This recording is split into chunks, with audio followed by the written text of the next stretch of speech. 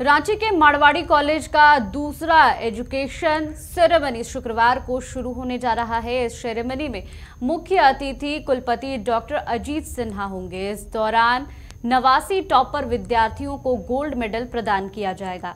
इसके साथ ही 7,235 विद्यार्थियों को डिग्रियाँ प्रदान की जाएँगी।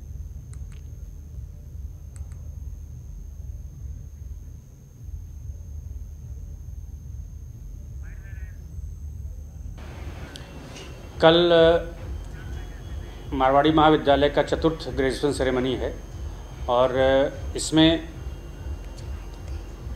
2550 के लगभग डिग्रियाँ बटनी हैं, जिसमें 70 गोल्ड मेडल होंगे और तीन सेशन के ये डिग्रियाँ बटेंगी। उम्मीद है कि बहुत बच्चे उत्साहित हैं और बहुत खुश होंगे, क्योंकि काफ़ी वर्षों के बाद ये डिग्रियाँ बांटी जा रही हैं। लगभग बराबर है लेकिन लड़कियों की संख्या कुछ अधिक है जो गोल्ड